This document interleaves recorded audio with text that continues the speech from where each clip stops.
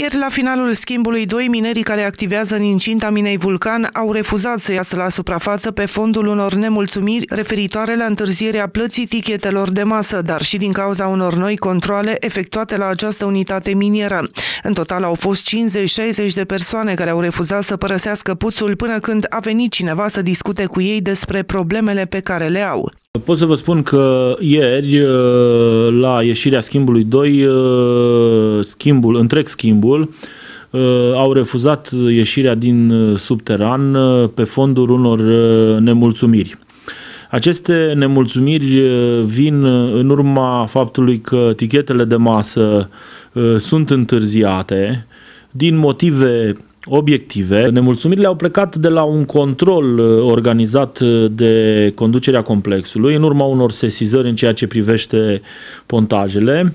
Sesizări însă care nu vizau uh, mina Vulcan, însă s-a luat această decizie ca acest control să se desfășoare la mina Livezeni și uh, Vulcan. În urma discuțiilor din această dimineață între președintele Sindicatului Muntele Darius Câmpean, vicepreședintele Sindicatului Muntele de la Mina Vulcan Marian Iriza și directorul general al CEH Samuel Dioane s-a ajuns la concluzia că în principiu toate problemele enunțate de către mineri vor fi rezolvate, iar plata tichetelor de masă se va face până la sfârșitul săptămânii viitoare.